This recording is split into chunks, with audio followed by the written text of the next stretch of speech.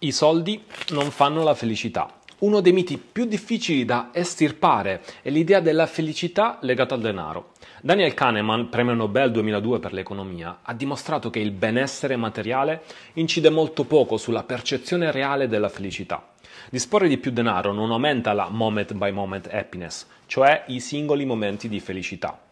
Che il denaro sia la fonte della felicità è falso per il semplice fatto che crea pagamento momentaneo dà una sensazione di sicurezza, di soddisfazione, di euforia, ma non vera felicità. Una recente meta-analisi del 2020 ha dimostrato che il centro di ricompensa del cervello viene attivato dal sesso, dal buon cibo e dallo stimolo denaro e che tutti e tre vengono processati dalla stessa area del cervello, i gangli basali. Infatti è sufficiente fantasticare su una grossa vincita di denaro per sentire subito sicurezza, pagamento, consolazione e gratificazione.